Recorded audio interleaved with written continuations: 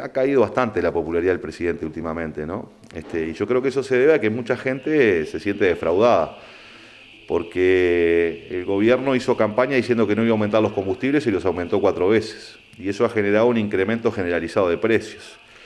En un escenario en donde se han bajado salarios y caído jubilaciones, también bajado jubilaciones, ¿no? En donde escasea el trabajo.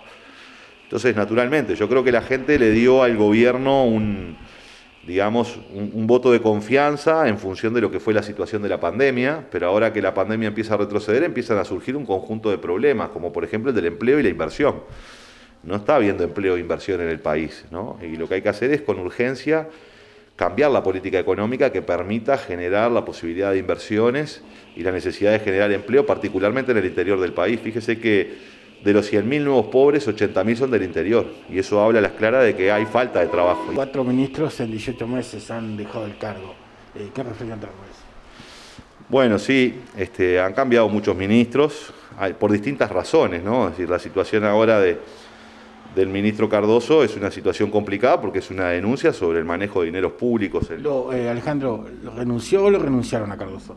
No, no, a Cardoso está clarísimo que a Cardoso le pidieron que se diera un paso al costado. Este, porque un integrante de su partido político, que era el director de turismo, lo acusó, le hizo serias acusaciones con respecto al manejo de los dineros públicos. Entonces está, clarísimo que le pidieron que diera un paso al costado. Y así pasó lo mismo en el Mides, ¿no? en donde después de un año este, cambiaron a toda la plana mayor del ministerio, ¿no? porque en el Mides no solo cambiaron al ministro, sino que cambiaron al subsecretario y al director general de secretaría. Y sí, eso se demuestra porque en un año de pandemia creció la pobreza y no hubo una política social que pudiera atender esa situación. Muchísimos uruguayos, cientos de uruguayos, terminaron comiendo producto de la solidaridad de las ollas populares y no del trabajo del Ministerio de Desarrollo Social.